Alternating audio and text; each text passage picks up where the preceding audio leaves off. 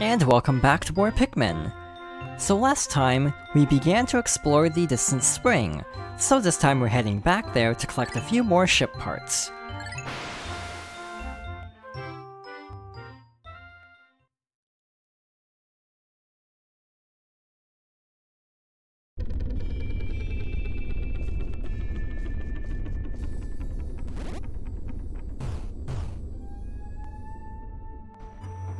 First of all, I want to fight a boss, so I'm bringing along a hundred red Pikmin.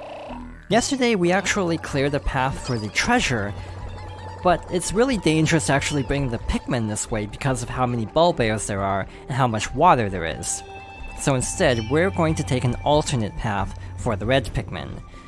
Past these two Bulbears is a branch, so we're gonna have them uh, go up here, and in the meantime, I'm going to have a few Pikmin work on something else. Past this Bulbear here is a geyser to quickly gain access to this area.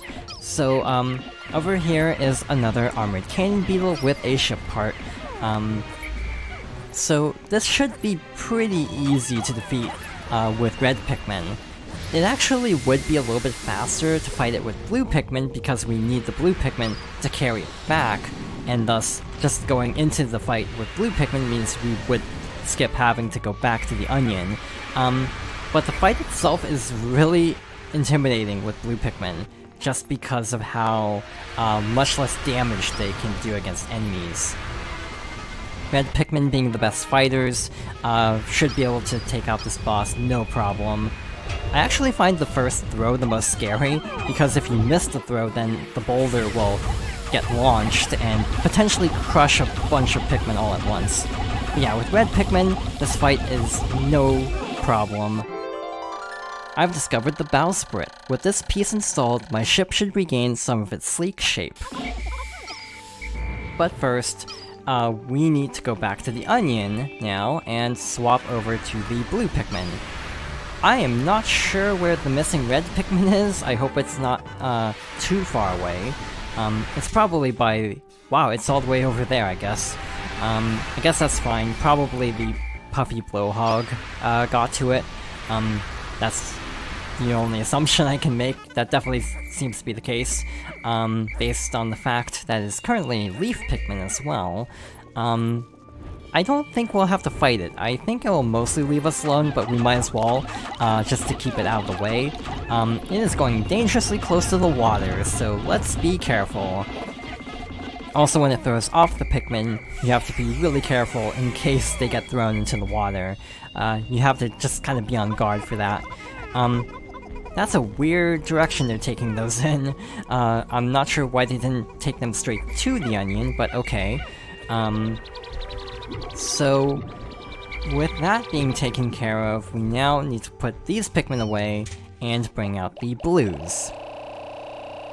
The blue Pikmin will have no problem uh, getting to the ship part and then taking it back. Um, I just don't trust the red Pikmin to avoid all of the Bulbears in one piece.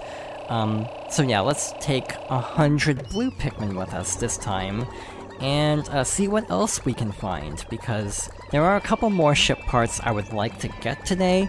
Um, we also cleared the path to those as well. We defeated a couple uh, water dumples that were nearby, um, so it should be a straight shot to those as well. But first, I should collect this one. Uh, I might also pick up the Armored Cannon Beetle itself. We don't really need extra Pikmin at this point, but we might as well go for a, a better end total, uh, since the game does give you uh, a leaderboard for most Pikmin raised. So both take 30 with a maximum of 50 Pikmin able to carry them. Um, I'm not really concerned uh, concerned about time today because um, we frankly have more than enough time uh, to take care of everything I want to do today.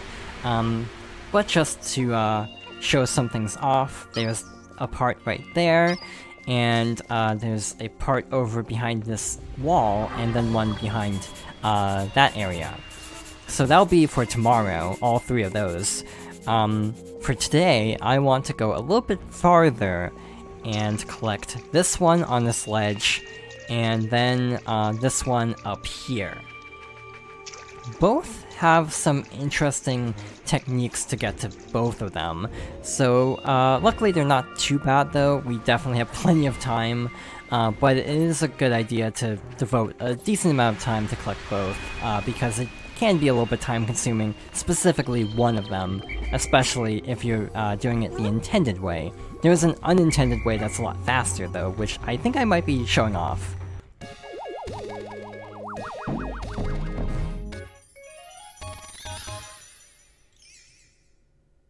Bowsprit, the so-called face of the dolphin. In point of fact, I designed it.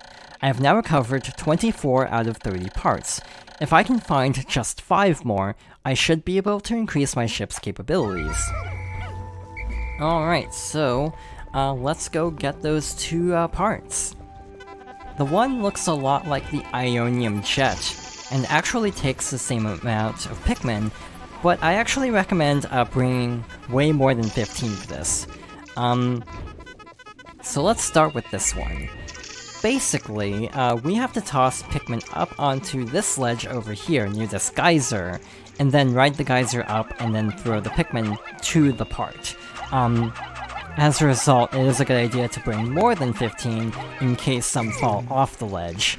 Um, but for the most part, this is pretty straightforward. Um, I find these ship parts good to go after early, just because they're kind of far away. Um, they definitely take a long time to carry back, uh, compared to some of the others. In general, I feel like the Distant Spring is probably the biggest area, and the most spread out in terms of uh, part locations and um, overall uh, hazards as well. It feels like the other areas are, are a lot more condensed, if that makes sense. Uh, but here, uh, we are going to toss the Pikmin up onto this ledge.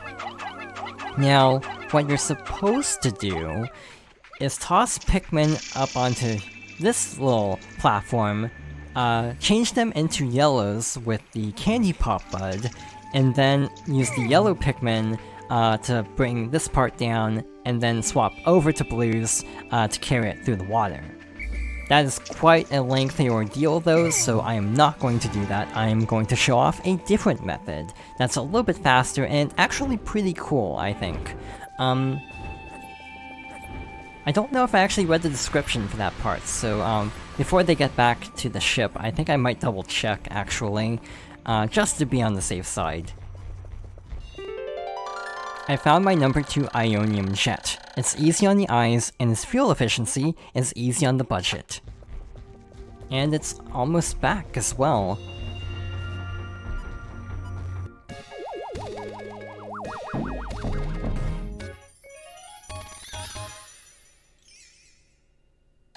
Number 2 Ionium Jet. The ads for these jets boast that with excellent mileage that's easy on the family budget, this jet will keep your wife smiling and propel you to a happy home life. I've now recovered 25 out of 30 parts. If I can find just 4 more, I should be able to increase my ship's capabilities. We can leave those Pikmin for now, uh, we have more than enough. But uh, let's wake up one of these Bulbears. I usually wake up this one because it's the closest to, to our goal. Um, so we want to lure it into this corner, and then uh, run up this ramp, and then run against this wall. If you run up against this wall at just the right point, when the Bulbear attacks, it will actually push you up to this ledge. Um, and now we're basically out of bounds. So there isn't an invisible wall, so there's no fear of falling off into the void. And now we have to walk along here um, to the Pikmin we tossed up here earlier. And now we don't need yellow Pikmin uh, to collect this, so we saved a lot of time by just flat out skipping a puzzle, basically. I'm gonna double check the Bulbear, first of all, to make sure it actually went back to sleep. Uh, it did not, so it's, it's a good thing I checked. Um, so let's see what this is. But yeah, using yellow Pikmin and then swapping back and forth just takes so much time. I found my Chronos reactor. Using strange new technology, this machine is able to warp the space-time continuum and turn it into energy. I am constantly amazed at how many mysteries are locked inside the parts of my ship. But yeah, uh, collecting this in the intended way, I would recommend devoting a lot of time just for the Pikmin to sprout, even. Um, I suppose a, a, slightly faster method would be to toss yellow Pikmin from the shore over to the uh, little island here. I think that is possible on GameCube, but it would be a little bit easier on Wii because of the cursor going farther. By the way, um, this little out-of-bounds trick also works on uh, Wii, just as a heads up. Uh, I mean GameCube. Um, so yeah, most glitches actually work on both versions, which is kind of nice and kind of inconvenient at the same time, depending on the glitch. Like the crushing glitch being in both versions is kind of bad. But this glitch, uh, and other like speedrun related glitches being uh, retained across versions make it uh, really convenient to speedrun either. I know day uh, 7 or 7 day runs of both games are possible, I'm pretty sure. Um, I'm not sure which is actually easier. I also think Pikmin 2 might have some glitches that were removed, but I am not 100% sure on that. So in the meantime, we're gonna go fight some more enemies. Over here are some Shearwigs, and a gate. I double checked, and we do have to tear down this gate, by the way. Um, so I'm debating if I should use blue Pikmin, or if I could just swap over to yellow Pikmin and use bombs. Um, we could use bombs for something else as well, so it might be a good idea to try that. Um, so let's make our way back to the landing site. Uh, the Chronos reactor...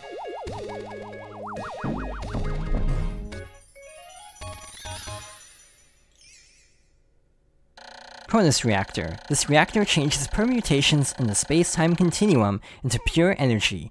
Basically, it's like a big rubber band. I have now recovered 26 out of 30 parts. If I can find just 3 more, I should be able to increase my ship's capabilities. I was just about to say the Chronos reactor should be back by now, and lo and behold it was.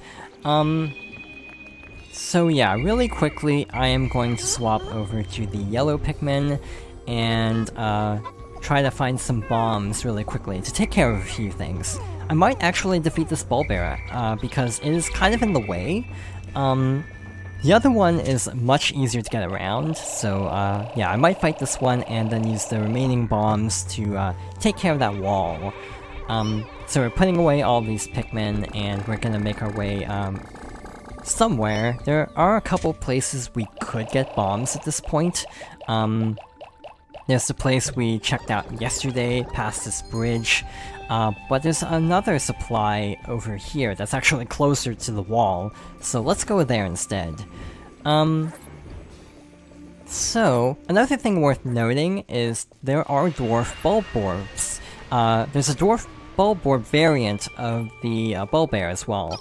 Um, the dwarf bulbears show up at a later day, kind of like the swooping snitch bugs in the um, Forest of Hope, so I can't actually remember the last time I've seen a Dwarf Bulbear in this game, if I'm being honest. Um, normally I get through the Distant Spring way too fast for that to be a problem. Um, this should only take four bombs, maybe five, I'm actually not sure. Uh, another thing you can try is toss a bomb at this wall. Um, this is how uh, speedruns get by this wall. Um, but I'm not feeling brave enough to attempt that at the moment, so I am simply going to head back and use the remaining bombs to um, defeat a few enemies. And by a few, I think only one, actually. Um, so, let's take three Bomb Rock Pikmin and then leave the rest over here uh, at a safe distance from the Bulbear. But yeah, uh, to reiterate, I really do like how more enemies show up uh, as the days go by, even if it means that quite often on uh, fast runs like this, you won't see quite a few enemies, um, unless you're actively returning to previous areas. I'm not even sure when Dwarf Ball Bears start to appear. I think it's, it's like day 12? But I'm not 100% sure. This might take uh, four bombs, but I could also just punch it.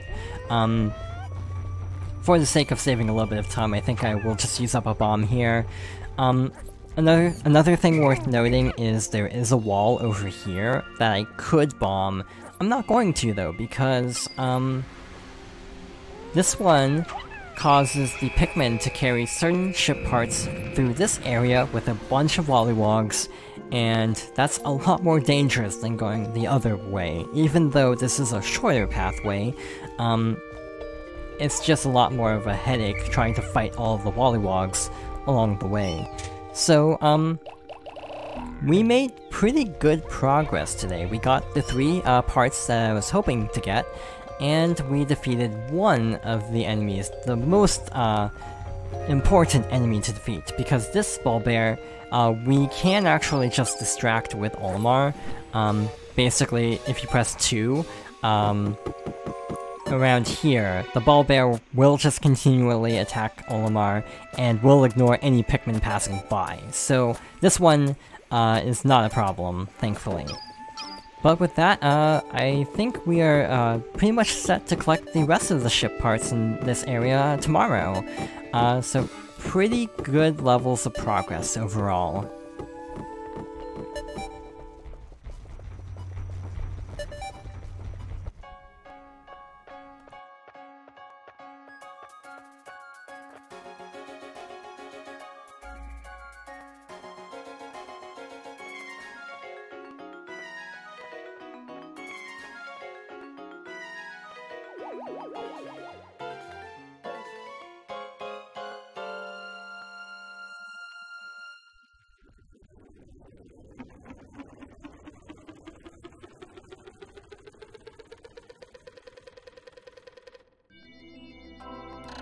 10 days since impact. If I can find just 4 more parts, the Dolphin will be fully rebuilt, but time has grown short. I must not flag in my search. Even if I cannot recover every piece, I will not give up. Surely some of those parts aren't absolutely necessary. I can almost see my smiling family. So, uh, time has grown short, he says, as he has 20 days left to collect 4 ship parts. But in any case, that wraps up day 10.